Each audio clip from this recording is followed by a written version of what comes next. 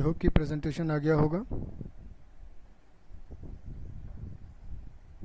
Yes sir okay ये questions हैं। ये करीब करीब सेवन पेज का डॉक्यूमेंट है अभी फ़िलहाल।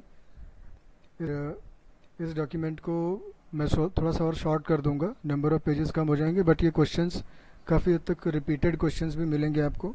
बट डिफरेंट ईयर्स में पूछे गए क्वेश्चंस हैं।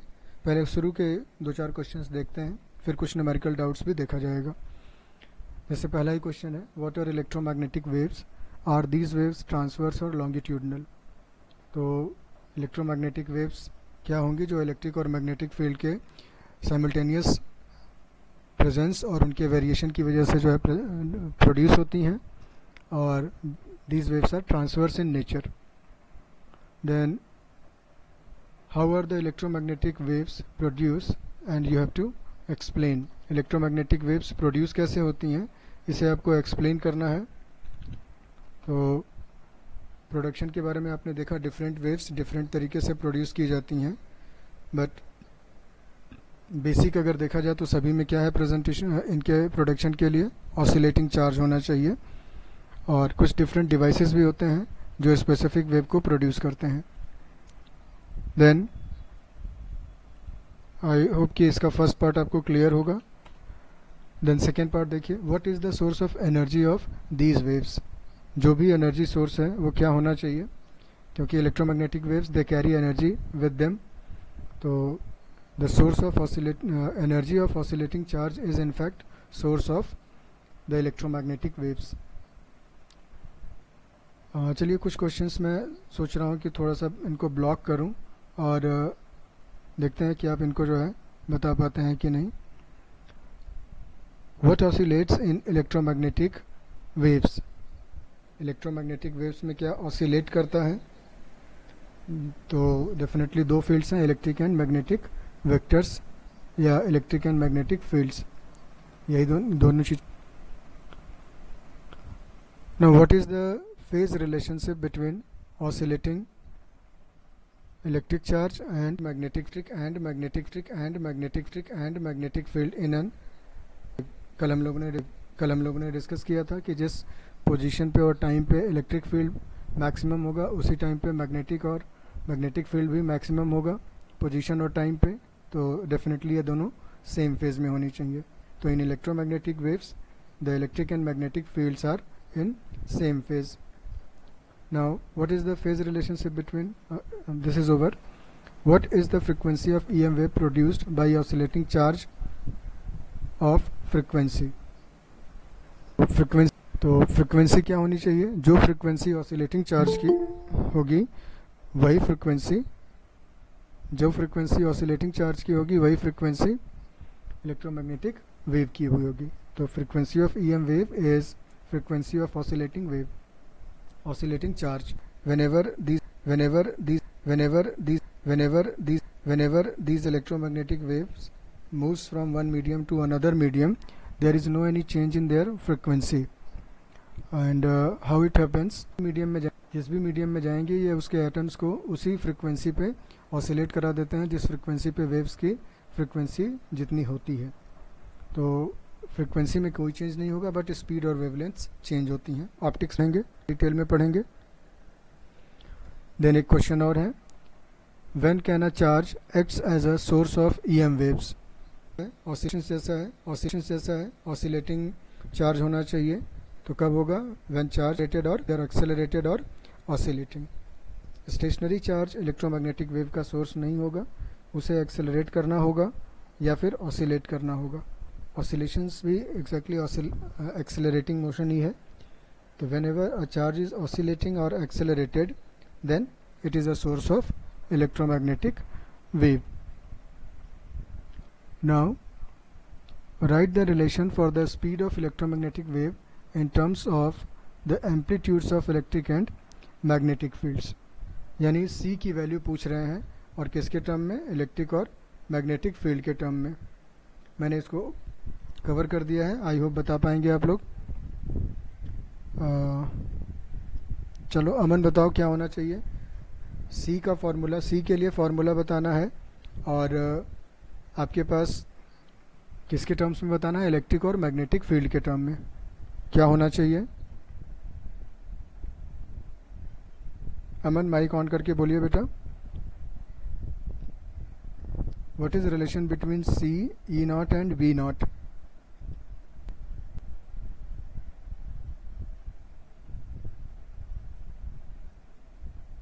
Aman response करो बच्चे।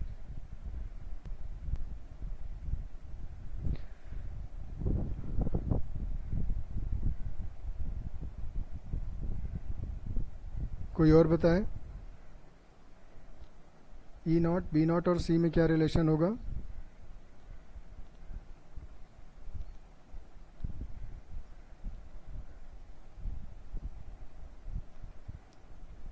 कल ही डिस्कस किया था it is E naught upon B naught C equals to E naught upon B naught now the next right the expression for speed of electromagnetic wave. In a medium of electrical permittivity, epsilon, and magnetic permeability, mu. तो ऊपर वाले फार्मूले में ई not की जगह पर आप electric field के लिए जो है एप्साइलन रख देंगे। तो फार्मूला आ जाएगा C equals to one upon square root epsilon into mu C equals to one upon under root epsilon and mu और म्यू नॉट और म्यू आर के टर्म्स में भी इनको लिखा जा सकता है। वो भी दिखाया गया है। Now, what is meant by transverse nature of electromagnetic waves? Electromagnetic waves के ट्रांसवर्स नेचर का मीनिंग क्या है? अंशिका चौहान अगर है तो बताइए। अमन ने तो कोई रिस्पांस नहीं दिया था। अंशिका बेटा बताओ transverse nature of electromagnetic wave का मीनिंग क्या है?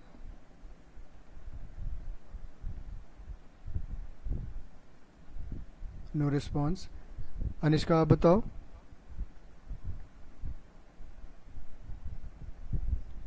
और नहीं पता है तो आप नो सर भी कह सकते हैं। मैसेज कर सकते हैं।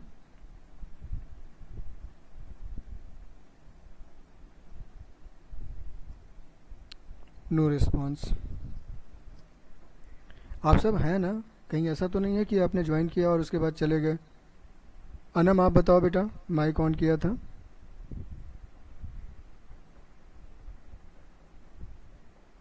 ट्रांसवर्स नेचर का मीनिंग क्या है?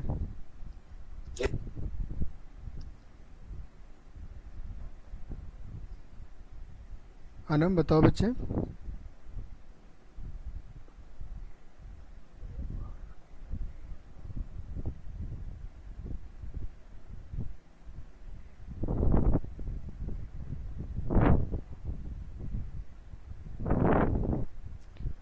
अनम ने भी कोई रिस्पांस नहीं दिया। क्या नेटवर्क इश्यूज़ हैं आप लोगों के यहाँ? सिमरन आप बताओ। इलेक्ट्रोमैग्नेटिक वेव और शायद मैग्नेटिक वेव जो है एक ही टाइम पे जो परपेंडिकुलर रहती हैं उसको। यस yes, करेक्ट है। आवाज़ ब्रेक हो रही है। क्या मेरी आवाज़ प्रॉपर आ रही है? सिमरन? यस सर हम्म, हम्म, कुछ लोगों के यहाँ नेटवर्क का प्रॉब्लम है। चलिए कोई नहीं, आप माइक ऑफ़ कर दीजिए।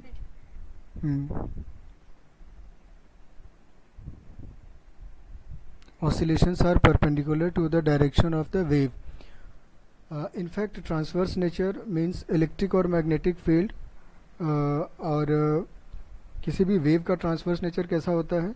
जो ऑसिलेशंस होंगे, वो प्रोपेगेशन ऑफ़ वेव के परपेंडिकुलर होने चाहिए। तो स्नेहा डबराल ने बिल्कुल सही चीज़ कही है। और कौन सी चीज़ के, किसके ऑसिलेशंस इलेक्ट्रिक और मैग्नेटिक वेक्टर्स के के फील्ड्स के फील्ड्स के। नाउ अगला क्वेश्चन है आपके पास। How are the directions of electric and magnetic field vectors in an electromagnetic waves are related to and and to the direction of propagation of the electromagnetic wave. ये question बहुत आसान है। Message करें, जिनको पता है मैसेज करिए। आवाज़ का अगर इश्यू है तो मैसेज करिए।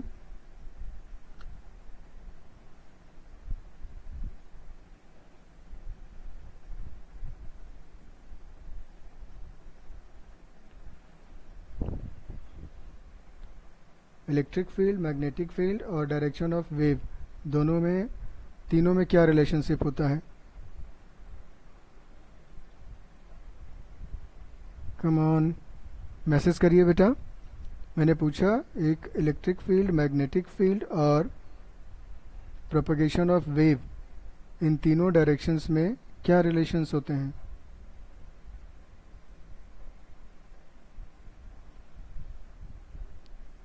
They all are mutually perpendicular ये सभी के सभी एक दूसरे के परपेंडिकुलर होते हैं।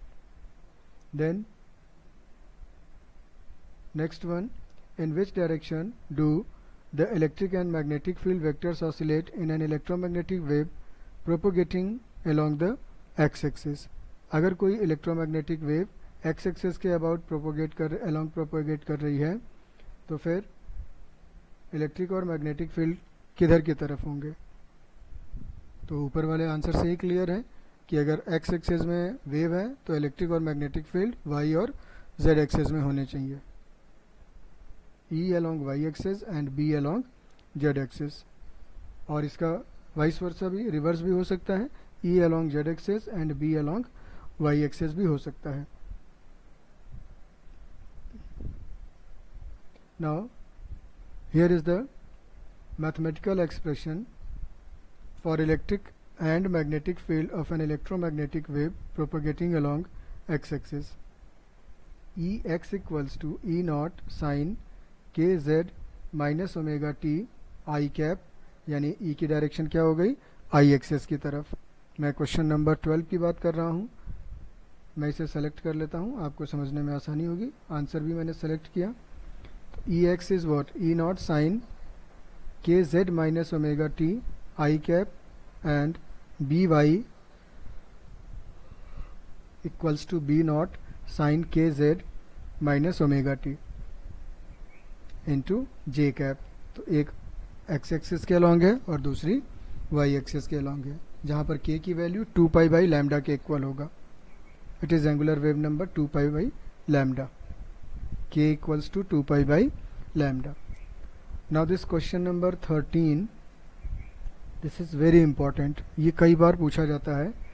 Draw a sketch of linearly polarised electromagnetic wave propagating in the Z direction indicating the direction of the oscillating electric and magnetic field. Oscillating electric and magnetic field के टर्म्स में आपको इलेक्ट्रोमैग्नेटिक वेव का diagram draw करना है। तो जो कल के लेक्चर में स्टार्ट किया था फ़र्स्ट उसी के जैसा डायग्राम बन जाएगा, आप ये देखें। ये ई e जो है वाई एक्सेस के अलॉन्ग ले लिया है, और बी को एक्स एक्सेस के अलॉन्ग ले लिया तो वेव जेड एक्सेस के अलॉन्ग जाएगी। आप जेड की जगह पर एक्स ले सकते हैं एक्स की जगह पर वाई और वाई की जगह पर जेड ऐसे भी किया जा सकता है।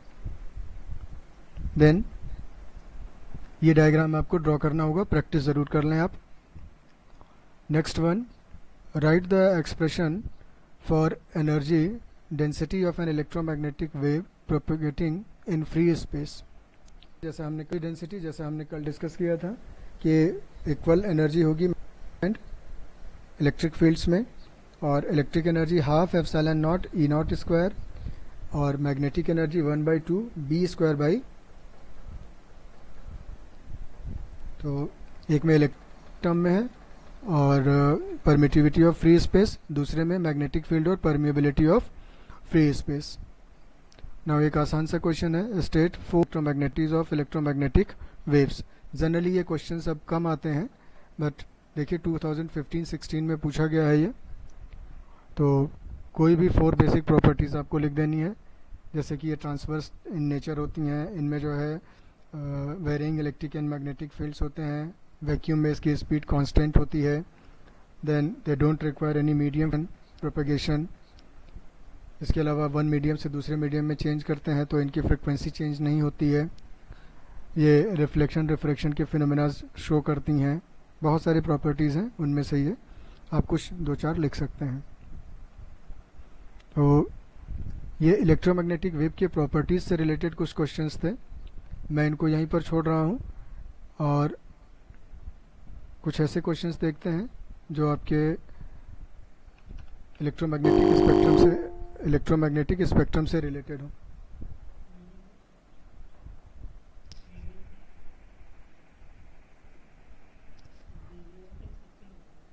कौन? उनसे बोल दीजिए कि अभी क्लास ले रहा हूँ। ग्यारह बज के दस मिनट में मेरी क्लास ओवर होगी, फिर। ग्यारह बोल दो ग्यारह दस तक मैं क्लास ले रहा हूँ। जी बच्चों तो क्वेश्चन नंबर ट्वेंटी देखिएगा आप।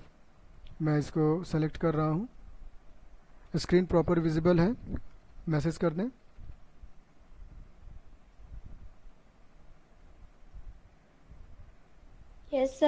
Okay which physical quantity if any has the same value for the wave belonging to the different parts of the electromagnetic spectrum कौन सी क्वांटिटी दोनों में किसी भी फ़िज़िकल क्वांटिटी में जो है सेम होगी डिफरेंट इलेक्ट्रोमैग्नेटिक स्पेक्ट्रम्स में।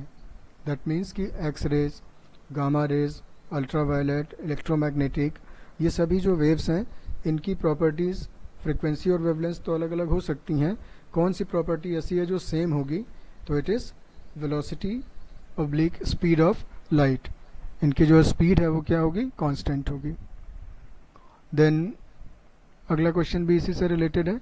Name the physical quantity which remains this is 21 name the physical quantity which remains same for micro same for microwave of wavelength 1 millimetre and Ulstein of 16 of 1600 angstrom in vacuum.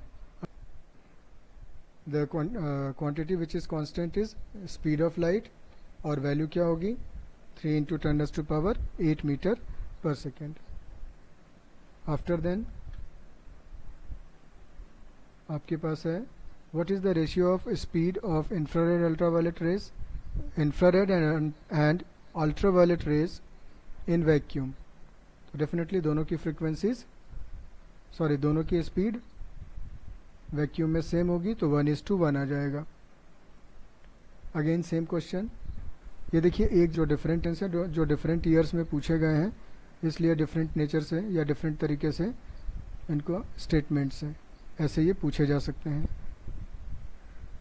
After then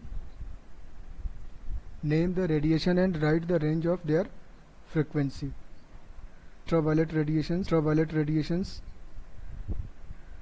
ये question हटा देते हैं। Actual में question complete नहीं है। इसे नहीं discuss करेंगे। देखिएगा। Why are microwaves found useful for the radar system in aircraft navigation तो इसकी कौन सी प्रॉपर्टी ऐसी है जिसकी वजह से एयरक्राफ्ट नेविगेशन में इसका यूज़ किया जाता है? या इसको डिफरेंट तरीके से पूछा जा सकता है? State the reason why microwaves are best suited for long distance transmission of signals mobile tele mobile या सेलफोन में भी इनका इस्तेमाल किया जाता है। तो क्यों किया जाता their due to their due to their short wavelength microwaves have high with respecting power with respect to atmosphere and are not diffracted by the obstacle in the path of their propagation जैसे इनकी wavelength short होती हैं तो energy high होगी। High energy की वजह से ये एटमॉस्फेयर को पेनिट्रेट कर देंगे, या किसी ऑब्स्टेकल से ये डिफ्रेक्ट नहीं होंगे। डिफ्रेक्ट होने का मतलब है स्प्रेड आउट होना, फैल जाना। तो ये एक यूनी डायरेक्शनल वे में जा सकती हैं और दूर तक जा सकती हैं, इसलिए इनका इस्तेमाल हम लोग रडार सिस्टम्स में किया जाता है। और रडार एग्जैक्टली नेविगेशन सिस्टम है, जिसमें कि आप डिफरेंट एयर स्पेस में या एरो स्पेस के टेक्निक इसका यूज़ इसका यूज़ इसका यूज़ पोजीशन पोजीशन और उनकी एग्जैक्ट लोकेशन को फाइंड आउट करने के लिए किया जाता है।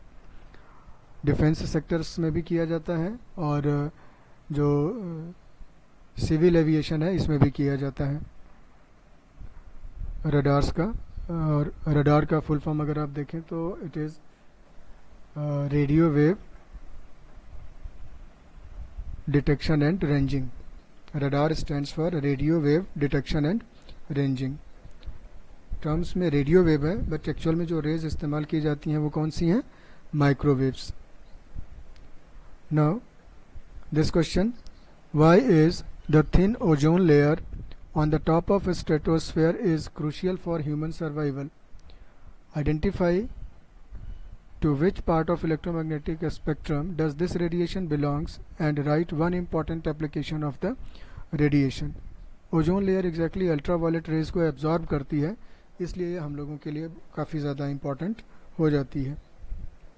तो ओजोन लेयर कितनी हार्मफुल है आ, कितनी प्रोटेक्टिव है हमारे लिए और हार्मफुल अल्ट्रावायलेट रेज को ये रोकती है। तो इस क्वेश्चन का जो है एक सब्जेक्टिव सा आंसर होगा। देन आइडेंटिफिकेशन में अल्ट्रावायलेट रेडिएशन वाटर प्योरीफिकेशन में और फोरेंसिक्स में। इसके अलावा जो है, आपने इसके कुछ और जो है एप्लीकेशंस कल डिस्कस किए थे अल्ट्रावायलेट रेज के। ये मेडिकल ट्रीटमेंट में भी इनका इस्तेमाल किया जाता है बैक्टीरिया को किल करने के लिए किया जाता है। कल मैंने एक वेव को हीट वेव कहा था। देखिए क्वेश्चन आया आपके पास। How are infrared rays produce are these infrared are these infrared rays मैं यहाँ पर पढ़ रहा हूँ। Why are why are these refer to as heat waves right they are three important uses name the radiation which are next to the radiation in the electromagnetic spectrum having shorter wavelength and longer wavelength. तो एक बड़ा question बनाने की कोशिश की गई है। Shorter wavelength और हायर वेवलेंथ की जो है नियर बाई रेडिएशंस के बारे में भी बताना है कैसे प्रोड्यूस किए जाते हैं ये भी। तो हॉट बॉडीज से या सन से ये प्रोड्यूस की जाती हैं कल डिस्कस किया था हम लोगों ने। एंड वाइब्रेटिंग मॉलिक्यूल से भी इनको प्रोड्यूस किया जा सकता है। कहाँ कहाँ पर यूज़ की जाती हैं?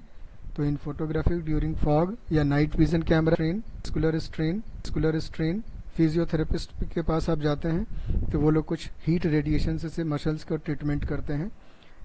For the term treating muscular strain and in remote control of electronic devices TV वगैरह के रिमोट कंट्रोल में भी इनका इस्तेमाल किया जाता है हीट वेव्स का।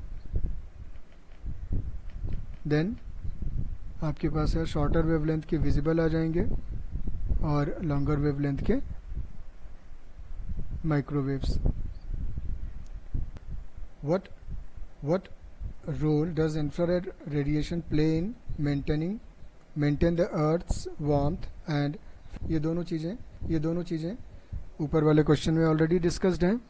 अर्थ अर्थ को कैसे मेंटेन करेंगे वार्मथ को? कल भी मैंने किया था कि रेडिएशंस जो अर्थ के सरफेस सरफेस पे पड़ते हैं रिफ्लेक्ट होने के बाद जब वो एटमॉस्फेयर से बाहर जाने लगते हैं तो कुछ लॉस हो जाती, इनकी लॉस हो जाती है ड्यू टू एब्जॉर्बेशन और जब एनर्जी लॉस होगी तो ये पेनिट्रेट नहीं कर पाते हैं एटमॉस्फेयर को, बल्कि एटमॉस्फेयर में ट्रैप कर जाते हैं। और जब एटमॉस्फेयर में ट्रैप करेंगे तो ये हीट प्रोड्यूस करेंगे। तो अर्थ की वार्मथ को मेंटेन करने के लिए आपके पास इंफ्रारेड रेडिएशन का यूज़ किया जाता है। फ़िज़िकल थेरेपी में फिजियोथेरेपिस्ट इसको यूज़ करते हैं मस्कुलर स्ट्रेन को ठीक करने में। और अब मैं कुछ न्यूमेरिकल प्रॉब्लम्स डिस्कस करना चाह रहा हूँ। ये फ़ाइल मैं आप लोगों को शेयर करूँगा और आप सब इसको जो है कुछ नोट्स भी प्रिपेयर कर लेंगे।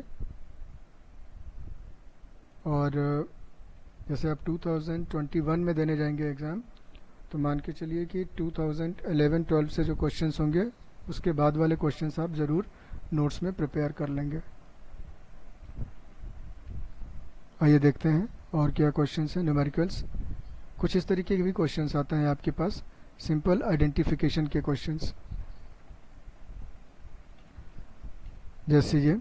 Electromagnetic following electromagnetic radiation has least frequency आपको वेव्स दी दी जाएँगी, जैसे अल्ट्रावायलेट रेडिएशन एक्स रेज और माइक्रोवेव्स इनमें सबसे कम फ्रिक्वेंसी किसकी होती है? तो माइक्रोवेव की फ्रिक्वेंसी सबसे कम होगी। माइक्रोवेव से नीचे आपके पास जो है इंफ्रारेड रेज आ जाएँगी, उसके नीचे विजिबल पार्ट आ जाएगा। विजिबल पार्ट के नीचे फिर ultra ultraviolet then X rays अगर आपको अरेंज करना हो इनको क्वेश्चन नंबर दिस इसकी बात मैं कर रहा हूँ। मान लीजिए इसे अरेंज करना है तो सबसे लीस्ट फ्रिक्वेंसी पूछ गई वेव की आ गई। अब मैं अगर आपसे पूछूँ कि सबसे हाईएस्ट फ्रिक्वेंसी किसकी होगी तो आपका क्या आंसर होना चाहिए? किसी ने मैसेज किया? ये yes, क्या आंसर होना चाहिए बताइए इस क्वेश्चन में? अल्ट्रावायलेट रेडिएशन एक्सरे और माइक्रोवेव्स में। सबसे कम फ्रीक्वेंसी माइक्रोवेव की है। आपको बताना है सबसे ज़्यादा फ्रीक्वेंसी किसकी होगी?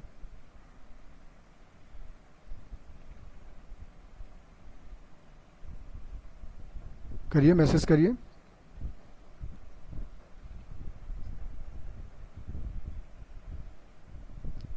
हेलो हाँ मुझे प्रॉपरली मैं सुनाई भी दे रहा हूँ। आई होप आपको मैसेज करना चाहिए। Among ultraviolet radiation X rays and microwaves किसकी फ्रिक्वेंसी ज़्यादा होगी? UV rays UV rays no frequency ज़्यादा एक्स रेज की होगी। क्योंकि जब आप एक रेंज बनाएँगे तो कल भी मैंने डिस्कस किया था कि आप विजुअल वाले पार्ट को जो है स्टैंडर्ड मान लीजिए। तो रेड के ऊपर इंफ्रारेड उसके ऊपर माइक्रोवेव उसके ऊपर रेडियो वेव इसी तरीके से वॉयलेट के नीचे अल्ट्रा वायलेट अल्ट्रा वायलेट के नीचे एक्स रेज और एक्स रेज के नीचे गामा रेज तो वेवलेंथ देखिए तो रेड से रेड की तरफ़ वेवलेंथ बढ़ती है। तो रेड के ऊपर जितनी होंगी, उनकी वेवलेंथ ज़्यादा होंगी। तो फ्रिक्वेंसीज कम होंगी और वायलेट के नीचे जितनी होंगी, उनकी वेवलेंथ कम होंगी तो फ्रिक्वेंसी ज़्यादा होगी। तो अल्ट्रा वायलेट नहीं होगा, बल्कि क्या होना चाहिए? एक्स रेज होना चाहिए।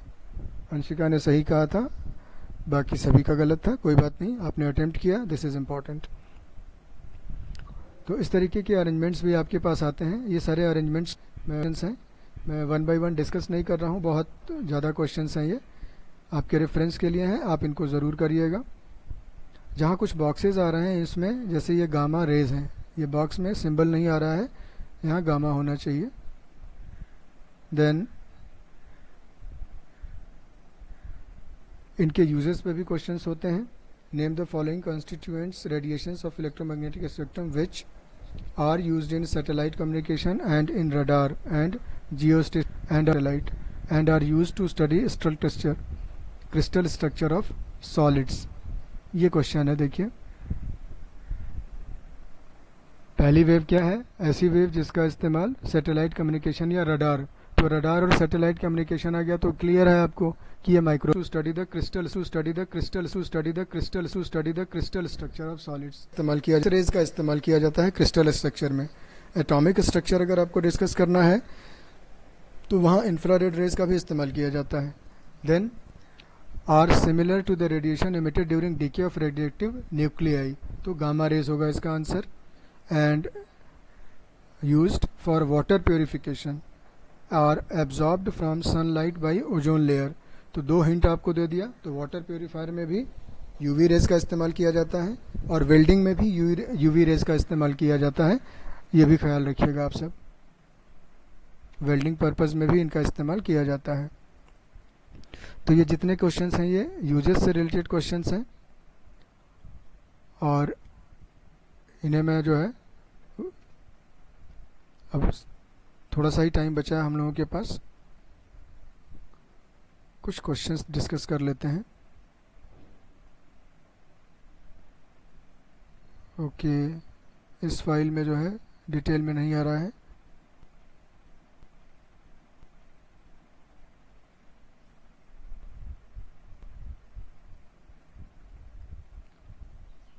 देखिएगा, ये न्यूमेरिकल क्वेश्चन हैं कुछ। यहाँ पर क्वेश्चन नंबर टू ये क्वेश्चन सेलेक्ट किया है मैंने। In an electromagnetic wave the oscillating electric question ये है। In an electromagnetic wave the oscillating electric field having a frequency of three into ten to power ten hertz and an amplitude of 30 volt per meter propagates in the positive x direction. तो wave का propagation का direction क्या है? X access की तरफ़ है। और frequency कितनी है? Three into ten to power ten hertz and amplitude thirty volt per metre अब देखिए वोल्ट पर मीटर से आपको आइडेंटिफाई करना है कि ये कौन सा फ़ील्ड दिया है? इलेक्ट्रिक फ़ील्ड दिया है या मैग्नेटिक फ़ील्ड दिया है? तो अगर आप देखें तो volt per metre is electric field तो आपके पास नोन इन्फॉर्मेशंस क्या क्या हो गई? फ्रिक्वेंसी मिल गई आपको ई e नॉट की वैल्यू मिल गई ट्रैवलिंग डायरेक्शन मिल गया एक्स रेज का सॉरी एक्स रेज कह रहा हूँ इलेक्ट्रोमैग्नेटिक वेव्स का ट्रैवल करने का डायरेक्शन मिल गया। फाइंड आउट क्या करना है? What is the wavelength of electromagnetic wave frequency is given to you तो c equals to frequency into wavelength c equals to frequency into wavelength अगर होगा तो वहाँ से वेवलेंथ आ जाएगा सी अपॉन फ्रिक्वेंसी मैं सेलेक्ट कर रहा हूँ। इसे सॉल्व करेंगे। Your answer will be ten raise to power minus two metre and B naught what is, write down the expression for, to represent the corresponding magnetic field. Magnetic field को represent करने का expression देना है आपको।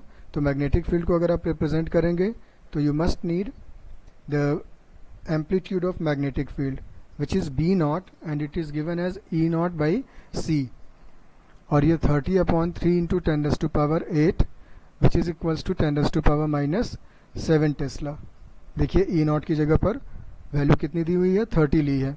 मैं इसको select कर लेता हूँ सेकेंड वाले को। तो सबसे पहले आप मैग्नीट्यूड फाइंड आउट करेंगे।